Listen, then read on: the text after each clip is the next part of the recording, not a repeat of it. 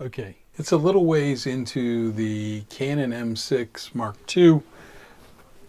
We're hitched up to a Rode Wireless Go with a lav mic. We're recording the sound on the Canon M6. I have also in front of me the new Pocket 2 and I'm recording and I'm using DJI's wireless microphone, competitor of the Wireless Go, plugged in with a lav mic. The lav mic is a different lav mic, a uh, Amazon special that I got that was rated pretty high. I have both settings close on the two cameras. I have no idea how this is going to turn out. I didn't adjust or go crazy adjusting the volume of the Pocket 2. And I'm just recording normally with my M6 Mark II. So I hate to do this, but I got to take out the cards and look at what is happening. So let me do that. Wow, I just looked at the footage. Now, you can't compare the Canon M6 Mark II with a 22 millimeter lens that's 2.0 compared to the DJI Pocket camera. It, they both were done in 1080p with similar settings. The one thing, the Pocket camera, I had to, in editing, boost the sharpness. I boosted the sharpness to 1 to 1.3 in the two sections that you got to see. So I boosted the sharpness to get a little bit better. It was the picture seems a little soft.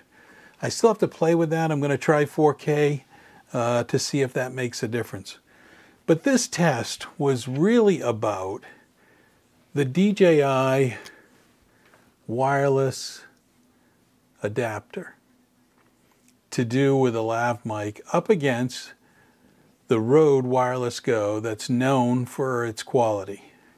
And I will tell you, they're equal. I matched up the soundtracks. You couldn't even tell the difference between the two. Now, I said in the video that I did not check the levels in the DJI microphone setting, and I didn't. I did boost the level a little bit to match the Wireless Go, but that's because I'm used to having that set up with the Canon M6 Mark II. So hopefully what you got out of this video is one, if you get a defective unit like I got, send it back to DJI. I got this unit and it didn't work. It totally just didn't work. It would sync, but no sound would come out. I sent it back to DJI, went through their process, they only had it three days, sent it back, and probably another 10 days we're looking at. I got this unit, a brand new unit, um, plugged it in, synced it up, works great. Now that I have that and I did this quick test, I have no doubt I will be using this wireless with the DJI uh, shooting video because it's portable and easy to use. It's not of the same quality as the Canon M6 Mark II. You're just not going to get the image quality that I get from that with that little sensor that's in DJI, but you get a good picture quality.